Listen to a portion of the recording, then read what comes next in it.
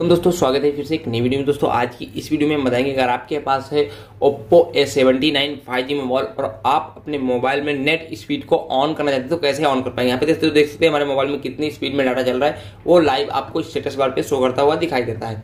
तो कैसे दोस्तों, आप अपने मोबाइल में नेट स्पीड को ऑन करेंगे? नेट स्पीड को ऑन करने के लिए आप अपने मोबाइल की सेटिंग्स को ओपन कीजिएगा।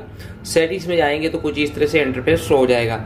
आपको थोड़ा नीचे आ जाना है स्क्रॉल डाउन करना है और यहाँ पे आपको एक ऑप्शन मिल जाएगा नोटिफिकेशन एंड स्टेटस बार इस पर आपको क्लिक कर देना है।